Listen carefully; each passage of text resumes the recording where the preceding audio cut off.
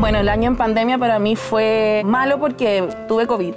Me contagié en julio por ir simplemente a un supermercado. Se disminuyó mi capacidad pulmonar, pero no disminuyó mis ganas para cantar. Ya me han dicho que soy buena para nada y que el aire que respiro está de más. Me han clavado en la pared contra la espada.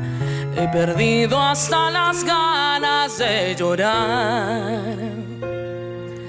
Pero estoy de vuelta, estoy de pie y bien alerta. Estoy del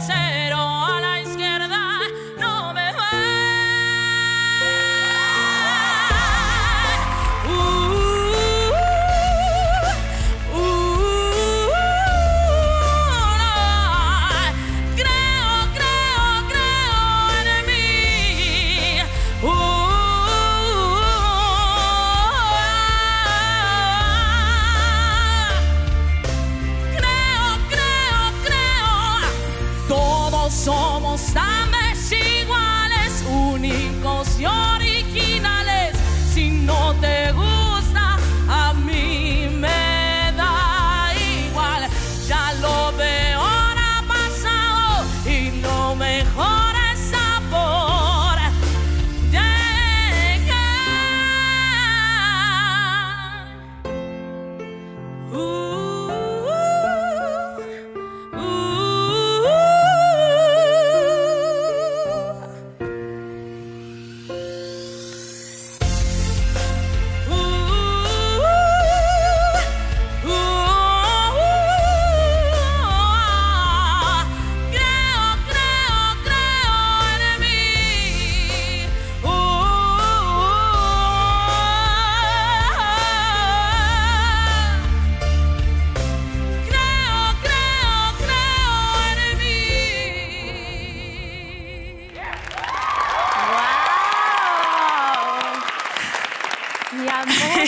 hermosa. ¿Cómo te llamas? Hola, ¿cómo están? Mi nombre es Elia Rey. Eli, qué impresionante tu fuerza, tu mensaje. Realmente muy lindo, muy estremecedor, muy emocionante. Me encantó tu prestancia, tu, tu hermosura, tu seguridad.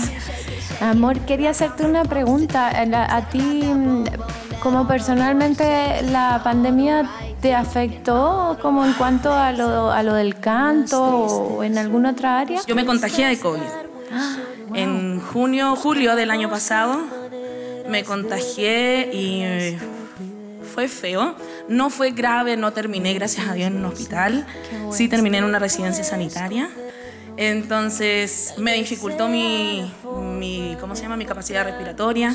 Sí, me imagino. Quedé con eso. secuelas. eso Ando ahí por, con mi inhalador.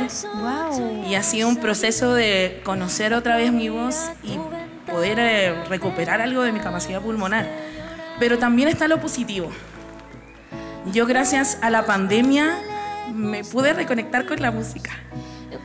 Explotaron las redes sociales y gracias a eso yo pude empezar a trabajar desde mi casa y poder mostrarme y estar aquí.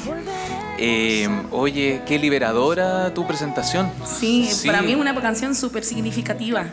Yo no la conozco. Eh, Es de Natalia Jiménez. ah, ah, bueno, yo voy a pensar para siempre que es tuya porque te la apropiaste. Ay, gracias. Em, ¿En algún momento sentiste, te sentiste entre la espada y la pared? Sí. Por, por los prejuicios de la gente.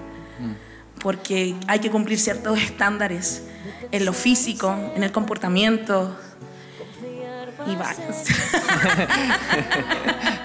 y no, no, yo soy lo que soy, rompo el, el esquema y soy feliz con eso. Y trato de siempre creer en mí porque es tan difícil. lo que irradia, la- la- el aplomo que irradia, la, la- la- la espontaneidad, eh, es fantástico. De verdad, es muy, muy difícil de ver en cualquier persona y sobre todo si lo transforma en algo artístico arriba del escenario, es wow. Vamos a votar ahora y mi voto es sí. Sergio, Mi voto también es un sí. Caro, Por esa luz que proyectan tus ojos, mi voto también es sí. Luis. Eli queridas de Antofagasta, que desafiaste el COVID y saliste de ahí y muy bien, te felicito, te mando un beso gigante aquí a esta distancia, mi voto es un linda, preciosa. Gracias. Un sí gigante. Gracias, gracias por creer en mí. Chile. Como dice la canción, gracias por creer en mí. Gracias. Yo tenía una duda muy grande. Ahora estás usando inhalador. Sí. Yo decía, si ya canta un kilo así, pero tremendo, porque era como que el, el teatro se iba a caer. ¿Cómo cantaba ahí antes? O sea, ¿en serio? Una proyección Muchas increíble. Sí. Sí. No sé. Ah, no, la verdad no sabría qué responder, pero bueno, bueno como escuchan mi voz sí está un- siempre está un poco más ronca de lo normal. Pero gracias a mucha ayuda de doctores, a mi inhaladora, un montón de ayuda, estoy pudiendo otra vez cantar.